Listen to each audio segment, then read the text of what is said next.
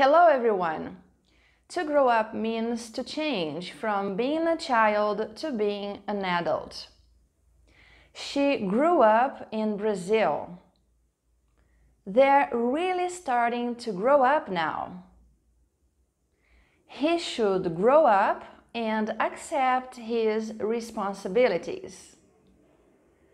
They know that this is the world they are going to grow up in, so they care.